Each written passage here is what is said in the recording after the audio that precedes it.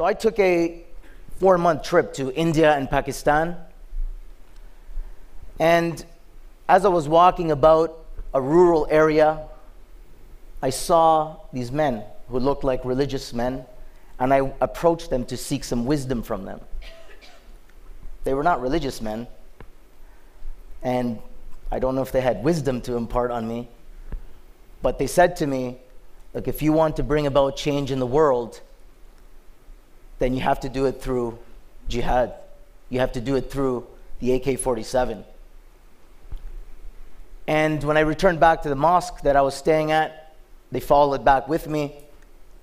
They let me fire their AK 47, and I was bit by the jihadi bug.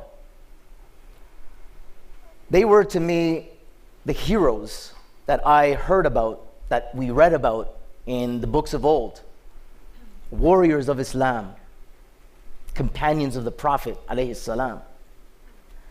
I then returned back to Canada and manifested this mentality internally and externally, recruiting other young people to the cause.